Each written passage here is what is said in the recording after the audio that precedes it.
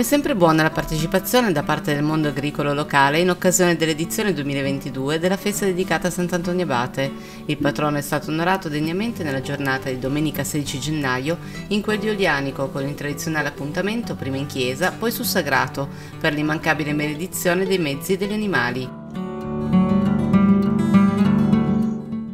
L'evento ha visto la celebrazione della Santa Messa da parte di Don Renato, che in seguito insieme ai priori Elio Pagliotti, Domenico Rolando e Alessandro Benso, nonché al fianco dei rappresentanti dell'amministrazione comunale olianicese, si sono riuniti in Piazza dei Ricetti per un ulteriore momento liturgico, anche questo sentito e partecipato. La comitiva ha quindi dato vita a un piccolo rinfresco, mentre non è mancato l'appuntamento conviviale, svolto nel pieno del rispetto delle regole Covid, che quest'anno si è tenuto nella pizzeria del paese.